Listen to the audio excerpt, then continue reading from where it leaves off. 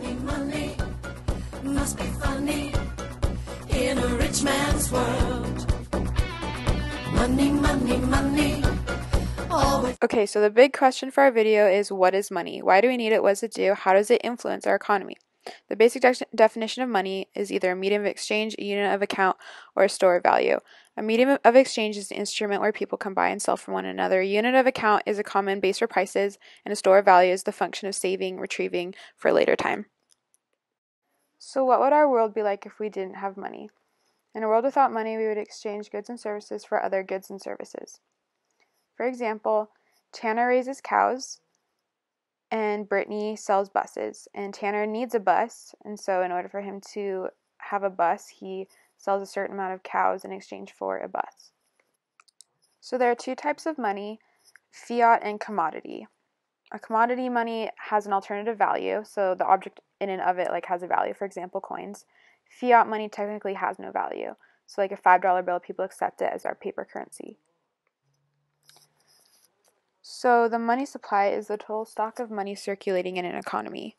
Economists analyze the money supply by controlling interest rates and increasing and decreasing the amount of money flow in the economy.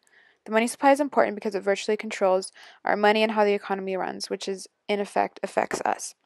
So the various types of money are usually classified as M's, like M0, M1, M2, and M3. In class, we discussed M1 and M2. M1 includes physical money, coins, and cash. M2 includes elements of M1 along with savings and deposits and mutual funds.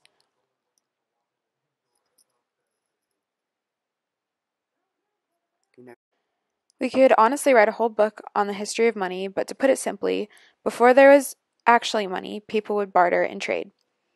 In time, money shifted to symbolic currency, and then eventually gold and silver coins, and then banknotes, and eventually paper money.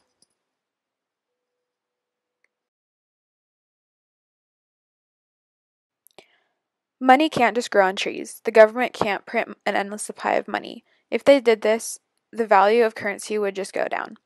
In conclusion, money is the essential key to our economy, and without it, we could not function properly. Hi, I'm Brittney Hoggan, and I helped film and with the research.